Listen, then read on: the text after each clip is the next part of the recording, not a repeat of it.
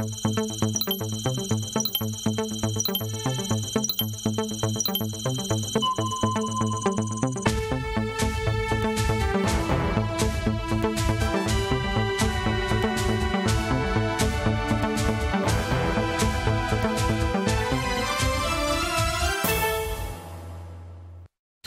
Ravi de vous retrouver pour cette deuxième session d'information de la semaine à la une de l'actualité. Burkina Faso, rapport de la Cour des comptes rendu public ce vendredi 20 décembre 2021 constate d'une nette amélioration de la gestion des finances publiques. Des recommandations formulées qui vont permettre d'améliorer la gestion des finances publiques selon le président du Faso. 14e congrès du SINCHA. Un nouveau bureau a été mis en place pour un mandat de 5 ans. Des recommandations vont être mises en œuvre, notamment dans la transformation du syndicat en fédération la Fondation Soumaïla Sissé pour l'espoir et l'excellence. Sissé Asta Traoré, l'épouse de feu Soumaïla Sissé, compte œuvrer pour donner de l'espoir aux plus démunis et promouvoir l'excellence chez les jeunes élèves. C'était les titres de ce 21 décembre 2021. Mesdames, Messieurs, bonjour et bienvenue. Comme je vous le disais en titre, après avoir remis son rapport 2020 au président du FASO le 16 décembre dernier, la Cour des comptes a rendu public le contenu de ce rapport ce 20 décembre à travers un point de presse.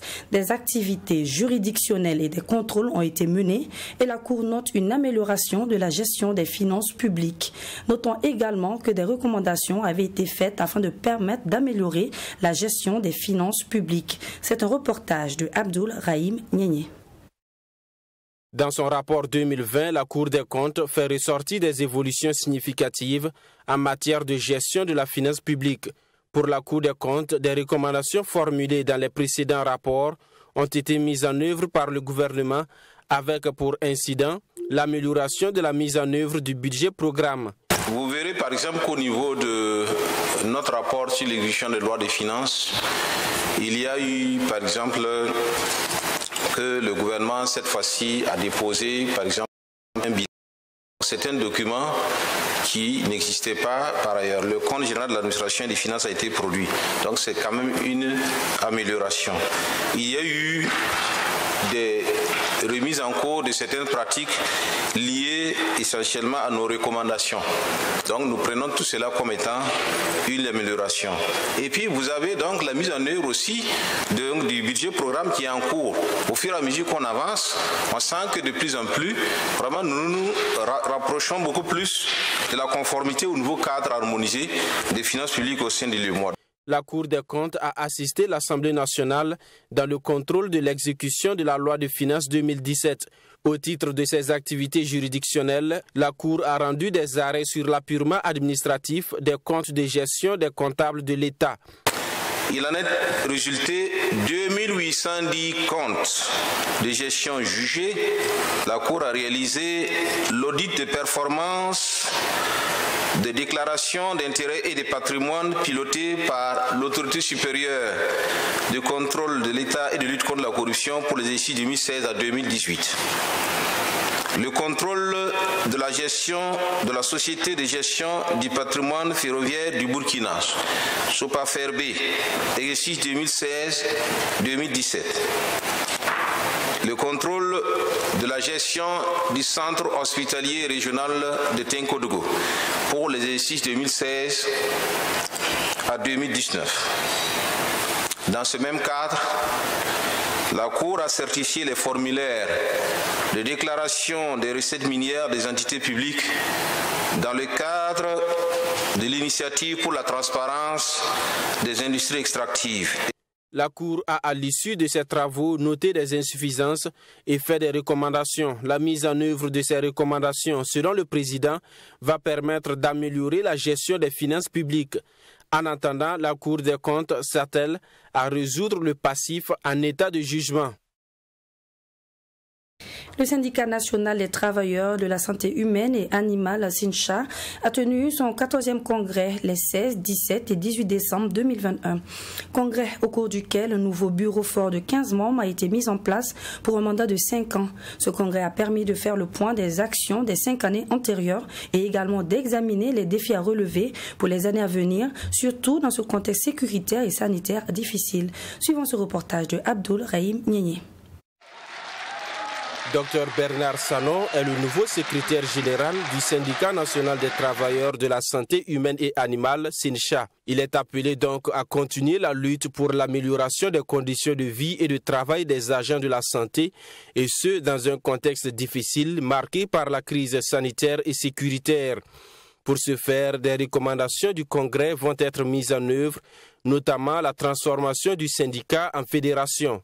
Il s'agit essentiellement de lutter pour la satisfaction de la plateforme qui est issue de ce congrès et également pour euh, la mise en œuvre des engagements pris par le gouvernement dans les, protocoles de 2017 et de 2018 entre autres, par exemple, vous avez la carrière des agents de santé qui est, qui pris en otage actuellement par le gouvernement de Burkina Faso. Les, congressistes ont estimé qu'au regard de la taille actuellement des ressources humaines au sein du SINCHA et de la complexité des, problèmes, qu'il était important que les, syndicats aillent à une fédération. Concrètement, il s'agit à l'intérieur du syndicat qu'il y ait des groupes des syndicats professionnels qui se retrouvent toujours à l'intérieur du syndicat. Pour le SINCHA, depuis la survenue de la maladie à coronavirus, les conditions de travail des agents de santé se sont dégradées et le dialogue avec le gouvernement est rompu.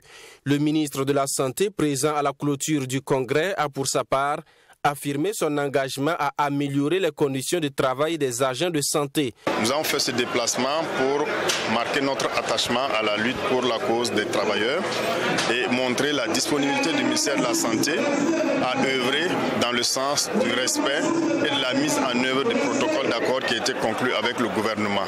C'est vrai qu'il y a eu un retard au regard donc des difficultés nationales et internationales que vous avez dû voir et que nous vivons aujourd'hui, mais la volonté et la dynamique de respecter et de mettre en œuvre ce qui est convenu est toujours affiché. Pour ma part, je marque ma disponibilité pour discuter avec le SINCHA à chaque fois que besoin en est pour résoudre les problèmes des travailleurs. Ce 14e congrès s'est tenu autour du thème de la lutte contre l'impérialisme, le capitalisme et le néocolonialisme et la maladie à coronavirus. À l'issue du congrès, le secrétaire général sortant Pissiamba Ouedraogo a été fait secrétaire général d'honneur du syndicat en raison des importants acquis engrangés ces cinq dernières années sous son leadership. Solidarité dans ce journal. Venir en aide aux enfants défavorisés de l'association Keogo et leur apporter un repas à une semaine de la fête de Noël. C'est l'objectif visé par le Lions Club à travers le district 403 à 3. Une initiative qui a permis à environ 3000 enfants que compte l'association de bénéficier d'un repas communautaire dans une ambiance de gaieté. Reportage signé Serge Camoré. La soupe populaire au profit des enfants défavorisés, c'est une initiative de Lions Club International organisée par le district 403 A3 avec 28 clubs porteurs. Une soupe populaire au grand bonheur des 3000 pensionnaires de l'association Keogo, composée entre autres de riz gras avec une sauce yassa, de viande, de pain, de la boisson mais aussi de popcorn. De quoi satisfaire le parrain de la présente édition, Aruna Ninkiema. Chaque année, nous décidons donc d'offrir un repas aux enfants pour fêter Noël avant Noël, euh, permettre aux enfants d'avoir des moments de joie et de plaisir et de savoir qu'ils sont soutenus. Les enfants ont besoin aujourd'hui d'un soutien moral, un soutien parental, euh, savoir que quelque part, il y a un père ou il y a une mère qui pense à eux. Donc c'est ainsi que nous avons initié ce, ce, repas communautaire, cette soupe populaire à l'endroit des enfants. Et pour cette édition, le choix s'est porté sur l'association Keogo Kamwensen qui regroupe plus de 3000 enfants défavorisés. Un geste qui, selon les mots du premier responsable, vient soulager l'association dans ses charges. C'est un honneur et un plaisir pour nous de recevoir nos amis Lyon ici Et nous apprécions vraiment euh, ce geste de solidarité en faveur des enfants et jeunes en situation de vulnérabilité. Et ce geste de solidarité-là euh, touche ces enfants et leur permet aussi de profiter d'un peu plus de bonheur. Parce que quand on se rend compte de ce qu'ils vivent au quotidien, avoir un moment comme ça de détente, euh, un moment avec d'autres personnes qui portent une attention particulière à ces enfants, c'est humainement touchant et c'est socialement valorisant. Ce repas communautaire offert par le district 403A3 du Lions Club a vu le jour grâce à une relation de partenariat avec le Lions Club d'Italie dans l'optique de soutenir et accompagner les enfants défavorisés de l'association Keogo. Toujours dans cette même lancée, ce 18 décembre 2021, le Lions Club Ouagadougou Carité était aux côtés des enfants vulnérables. Ils ont tout d'abord, dans un premier temps, participé à offrir un arbre de Noël aux pensionnaires de la Fondation internationale Tierno et Mariama Fitima, où une quarantaine d'enfants vivant avec un handicap ont eu droit à des cadeaux. Puis, dans un second temps, c'était au tour des pensionnaires d'Ampo de bénéficier à leur tour d'un arbre de Noël organisé également par le Lions Club Ouagadougou Carité. Les détails dans ce reportage de Michael Tougré.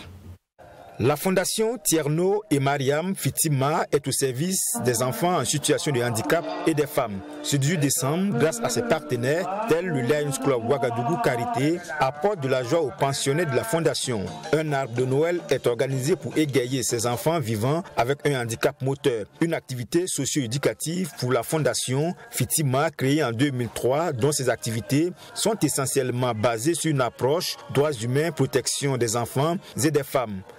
En plus de la fondation BOA, nous avons eu le Lions Club euh, voilà, qui nous a offert aussi des cadeaux. Et pour pouvoir aider, nous avons des enfants qui sont en rééducation. Nous offrons des cadeaux du genre de type de ballon pour aider à la motricité de l'enfant. Voilà, il y a des puzzles, c'est vraiment des cadeaux éducatifs et en même temps utiles. Quoi. Les enfants que nous avons en charge ont des handicaps euh, assez lourds et nous aidons à stabiliser certains types de handicaps. Donc forcément, on ne voit pas les résultats concrètement, mais les résultats se, font. Effectivement, fait partie de ces, de ces structures qui aident à l'ancrage, aux, soins, à des enfants en difficulté. Donc c'est pour ça qu'ils nous ont sollicité, on a répondu. Et on sera toujours aux côtés de Fitiment qui euh, fait une œuvre très utile pour la cité. Et c'est ce que nous recherchons en fait par nos œuvres et nos actions. À la suite de la fondation Fitima, le Lions Club Ouagadougou Carité a donné du sourire aux pensionnaires de l'orphelinat Ampo. Des cadeaux, un repas commun sont partagés avec ses enfants pour rappeler aux uns aux autres les valeurs de la solidarité. Au total, 120 pensionnaires, dont 60 filles et 60 garçons, ont bénéficié du geste du Père Noël. Nous sommes euh, comblés, nous sommes animés d'un sentiment de joie et nous pouvons que remercier euh, une fois de plus euh, le Lions Club Ouaga Carité. Ce n'est pas leur première. Hein. L'année passée, apparemment, ils sont venus célébrer la fête de Noël avec nos enfants. Ça s'est très bien passé. Même vous avez pu lire sur les visages des enfants ce soir. C'est une, grande joie pour ces enfants-là. Chaque année, nous organisons des œuvres et notamment nous soutenons euh, l'association Ampo dans son, dans son aide aux orphelins, et nous sommes là à, l'occasion également de la fête de Noël. Au-delà des cadeaux, nous comptons en fait développer encore plus de partenariats avec Ampo pour soutenir en fait l'association Ampo à apporter euh, l'aide nécessaire aux enfants en difficulté très souvent. Le Lions Club Ouagadougou Carité a été créé en 2008. 23 ans au service pour le bien-être des personnes vulnérables pour plus de solidarité en vue de relever les défis. Tel est le leitmotiv du Lions Club Ouagadougou Carité. Direction la région des Hauts-Bassins du Burkina Faso. À l'occasion du lancement officiel de sa marque de jus Malia, Arfikdia Industrie a convié les hommes de médias à un déjeuner de presse vendredi 17 décembre 2021 à Bobo du Lasso. Un déjeuner qui a eu lieu au Conseil burkinabé des chargeurs CBC et suivi d'une visite des installations de Arfikdia Industrie. Notre correspondant sur place, Joseph Koudougou, nous en dit plus. La société Afridia Industrie est une unité agroalimentaire spécialisée dans la production et la commercialisation de boissons non alcoolisées. Et ce déjeuner de presse dont elle est l'initiatrice se veut une rampe de lancement pour sa nouvelle marque de boissons, les jus Maléa. Afridi Industrie est une entreprise euh, burkinabé euh, dont l'actionnariat est à 100% burkinabé. Nous, produisons, nous avons des produits qui sont produits ici au Burkina avec euh, de la technologie italienne. Nous avons une politique qualité que nous avons, dans laquelle nous nous inscrivons au sein, au sein d'Afridi Industrie. Et cette politique qualité également euh, c'est à travers cette politique qualité également que nous, avons une sélection rigoureuse de, notre, euh, de nos matières premières. Donc je voudrais rassurer euh, les Burkinabés qu'en consommant Malia, en consommant Malia, ils consomment un produit burkinabé fabriqué localement, détenu par une entreprise à 100% burkinabé. Et également, et qui emploie c'est quasi 99% euh, du personnel qui est euh, d'origine burkinabé également. Ce rendez-vous avec les hommes de médias était également une occasion pour la société de présenter ses ambitions et perspectives dans le domaine de l'agroalimentaire et ce pour le bonheur des consommateurs. Nous avons la production euh, de, jus de fruits en format pack qui s'adresse à un public, un public plus jeune nous avons également euh, la production d'eau minérale et de boissons gazeuses que nous avons prévues. Et beaucoup plus à moyen terme, nous avons prévu la transformation euh, d'autres matières premières euh, locales. Donc la transformation de la mangue fraîche n'est que le début. Le secteur agroalimentaire offre un potentiel substantiel pour la création de nombreux emplois productifs. Cependant, il faut une forte implication de l'État pour une meilleure protection du marché au profit du tissu économique social. Et dans ce sens, Afridia Industrie n'a pas manqué de lancer un appel à l'endroit de l'État. Notre euh, appel à l'endroit du gouvernement, il faut dire que nous avons déjà euh, bénéficié de la part du gouvernement de l'agrément au régime C du Code des investissements, au vu du niveau des investissements. Nous bénéficions également, euh, dans le cadre de cet agrément-là, euh, de l'exonération euh, d'un certain nombre d'exonérations fiscales sur une période de, 7 ans. Nous avons bénéficié également, toujours à travers cet agrément-là, de, l'exonération partie, l'exonération d'une bonne partie des droits de douane sur l'importation de notre outil industriel, ainsi que de nos matières premières locales. Euh, ceci est fort appréciable, mais nous avons à l'endroit du, souhaitons euh, de la part de l'État burkinabé un, renforcement du contrôle euh, de l'importation des produits frauduleux qui viennent parfois de, qui ont des provenances douteuses dont on ne connaît pas forcément l'origine et qui minent, qui minent en fait la, le secteur industriel burkinabé. Donc nous souhaitons vraiment une collaboration euh, encore plus renforcée avec l'État. Maléa est disponible en jus d'orange, mangue, mangue ananas, mangue banane et mangue orange dans les emballages de 0,5 et 1 litre. Ce déjeuner de presse s'est terminé par une visite guidée de l'unité de production de Afridia Industries. La deuxième édition du Festival des Arts du Sud-Ouest et des Cascades a ouvert ses portes samedi dernier à Ouagadougou, dans le quartier de Rimkieta. Ce festival est une initiative de l'association Dialogue de Culture ADC. Trois jours durant, des festivaliers venus de ces deux régions auront l'occasion de mieux se découvrir pour un meilleur brassage culturel. Une deuxième édition placée sous le thème Dialogue des cultures, enjeux et techniques d'approche. C'est avec Saint-Jacques et Abdul Rahim. Dialogue des cultures, enjeux et techniques d'approche, c'est sous ce thème que s'est tenue la deuxième édition du Festival des Arts du Sud-Ouest et des Cascades. Un rendez-vous culturel qui vise à mieux faire connaître les potentialités et valeurs culturelles des deux régions. Il se donne également pour ambition de promouvoir la cohésion sociale. Et à l'heure du bilan, c'est un pari réussi, se félicite le président du comité d'organisation et par ailleurs président de l'association Dialogue et Culture ADC, structure initiatrice du festival. Moi, je tiens à la culture, je tiens à la cohésion sociale, je tiens au vivre ensemble. Et ce qui me motive plus, c'est les villageois que j'ai fait venir ici en ville, qu'ils viennent voir que nous tous nous attendons ici en ville. Arrivés au village, ils n'ont pas besoin de traiter quelqu'un d'étranger. Nous sommes tous des Burkinabés. Qu'ils soient déplacés d'ailleurs, c'est qu'il est venu pour chercher une vie meilleure. Ou soit il a des problèmes chez lui, tels qu'il y a des déplacés aujourd'hui au nord qui se déplacent vers le sud-ouest, avec les bétails qui cherchent des champs, qui cherchent des pâturages, et les paysans doivent les accepter comme des frères. Et en faisant ça, je pense que c'est ma manière de contribuer à la cohésion sociale et au vivre ensemble de ce pays. Du 17 au 19 décembre 2021, plusieurs groupes de musique traditionnelle venus de ces deux régions se sont succédés sur la scène de ce festival.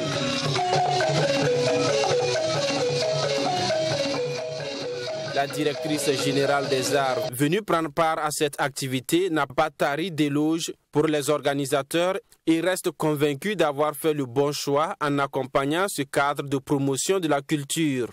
Nous avons pour obligation de faire la promotion des arts et la diversité culturelle. Et donc ce genre d'initiative qui réunit plusieurs euh, euh, couches euh, sociales et qui réunit plusieurs communautés entre en ligne droite dans nos objectifs. Et c'est pourquoi j'ai dit tout à l'heure que nous allons les soutenir et dans plusieurs euh, domaines. Nous allons peut-être soutenir techniquement et aussi nous avons la possibilité aussi d'apporter souvent des petits soutiens financiers pour encourager ce genre d'initiative qui permet, comme je l'ai dit, de promouvoir aussi les artistes, de les faire connaître et de leur donner de la visibilité. Même satisfaction pour Edwige Sommet, représentante du parrain, qui dit adhérer à la vision et la mission que se fixe le festival. Euh, cette initiative renouvelée va demeurer annuellement, sauf cas de force majeure, parce qu'elle nous permet d'atténuer les effritements, l'érosion de nos mœurs, de nos cultures, et surtout de faire un clin d'œil aux autres communautés qui sûrement ont envie de le faire, mais comment le faire? Rappelons que la deuxième édition du Festival des arts du Sud-Ouest et des Cascades, en plus des prestations, c'est aussi un cadre de réflexion. Et pour cette édition 2021, une conférence publique était inscrite en bonne place dans le programme d'activité avec pour thème Dialogue des cultures, enjeux et techniques d'approche.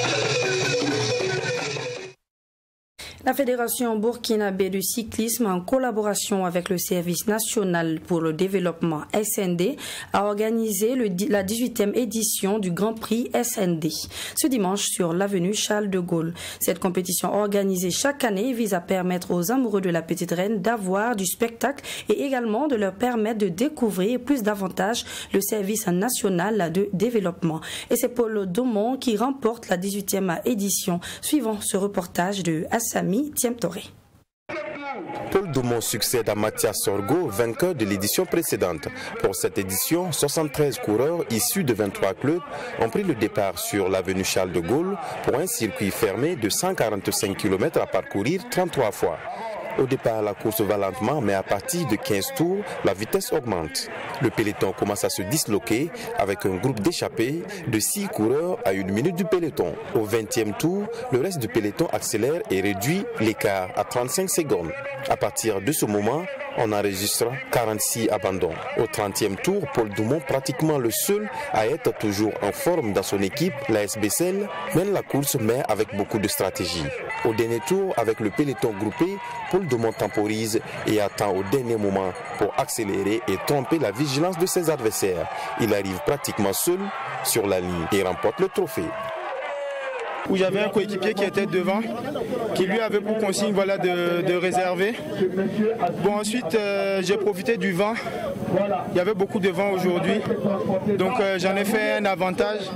J'essayais vraiment de, gérer ma course parce que je savais qu'à l'exercice euh, du contre-la-montre, j'avais l'avantage sur mes, sur mes coéquipiers, enfin sur mes adversaires plutôt.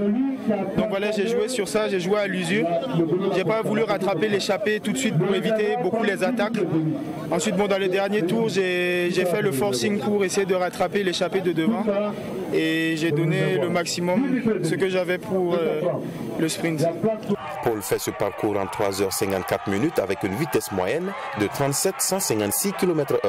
Il est suivi de Abdoulaye Rwamba et de Daouda Drago de l'AJCK. Ayant suivi la course de bout en bout, le premier responsable du service national de développement dit être satisfait de l'organisation dans son ensemble. Pour lui, l'objectif qui est de rassembler le monde de la petite reine est atteint.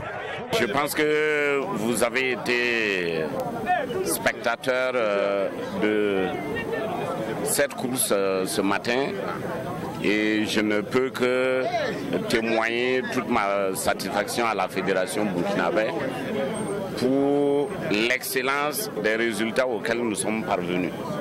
Il faut dire que la course ce matin a été âprement disputée et ça nous encourage.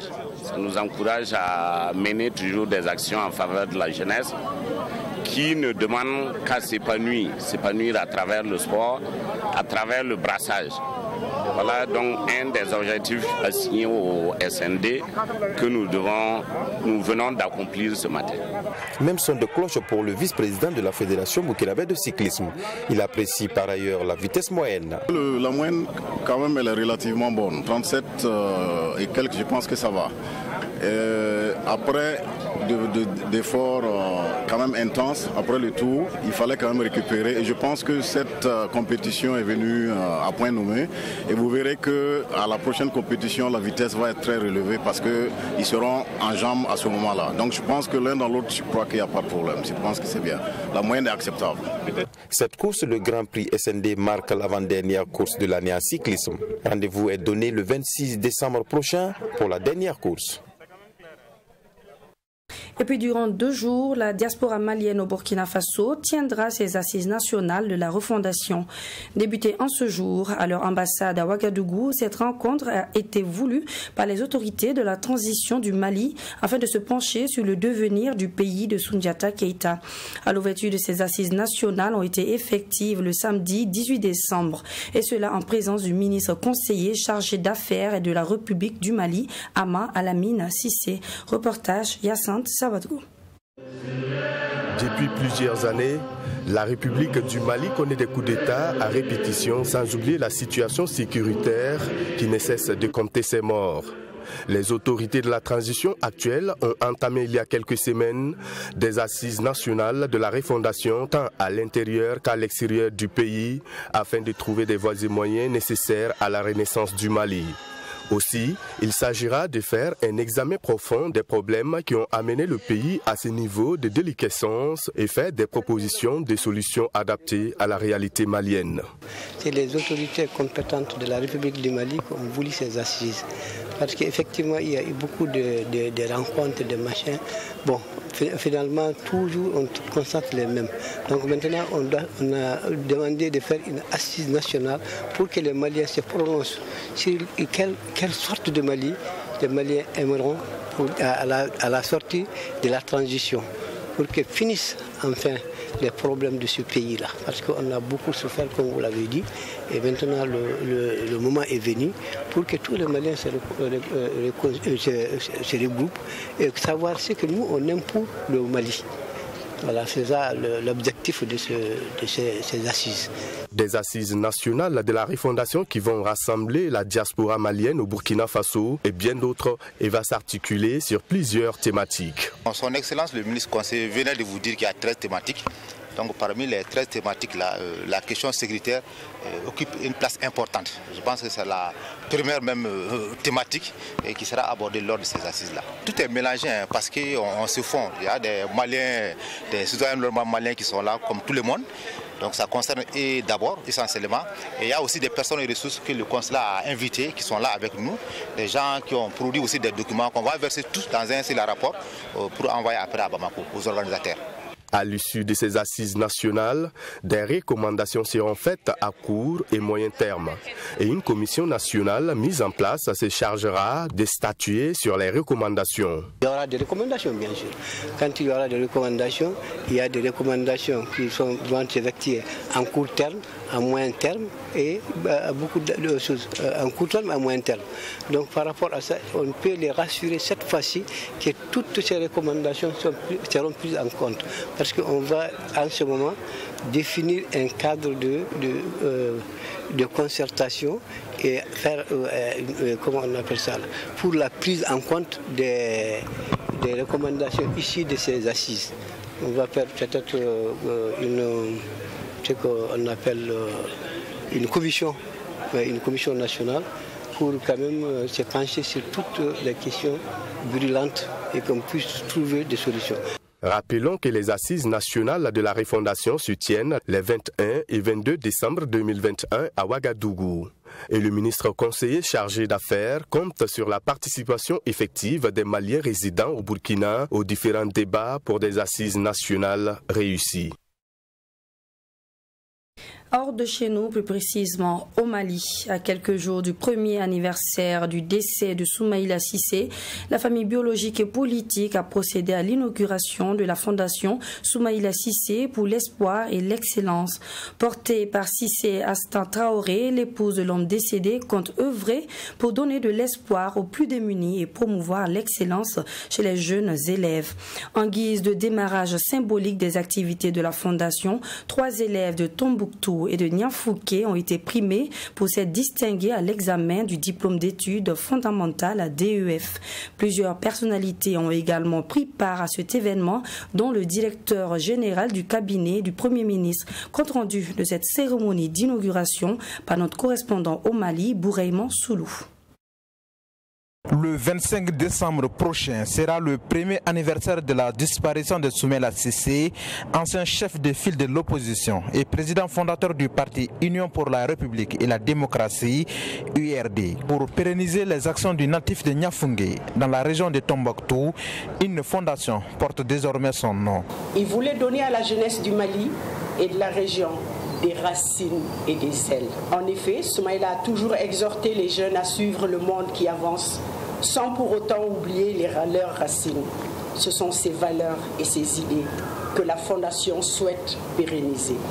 Ce sont ces valeurs que la Fondation que nous lançons aujourd'hui vise à faire vivre de manière pérenne. CC Achitan Traoré nous décline les principaux objectifs de la Fondation Sumela CC en deux points. Le premier est la création d'un environnement pacifique et sain, surtout dans les zones défavorisées. Le second est l'éducation et la formation des jeunes en vue de leur insertion dans le tissu productif afin de cultiver l'espoir et de faire de un atout pour le futur. Venus nombreux à la cérémonie d'inauguration de la fondation qui porte le nom du fondateur de leur parti, les partisans de l'URD rassurent de leur soutien à la fondation. Il fallait vraiment euh, quelque chose pour euh, entretenir le feu de l'action, de la mémoire de Soumala Sissé. Et je pense que cette fondation est bienvenue, est une très bonne initiative. Euh, les valeurs, les principes que Soumala Sissé a développés tout ce qu'il a fait comme travail pour le Mali, et pour l'Afrique, va se trouver embelli par l'action de cette CC. L'accompagnement de l'URD ne fera pas du tout de faux. L'URD est très content et très fier En guise de démarrage symbolique des activités, la Fondation Sumela CC pour l'espoir et l'excellence a offert des ordinateurs et 100 000 francs CFA aux trois premiers de l'examen du diplôme d'études fondamentales DF de leur localité. Des élèves venant de Tombouctou et Nyafungi. Un forage aussi a été offert aux habitants de Sabalibougou, un quartier populaire de la commune 5 de Bamako.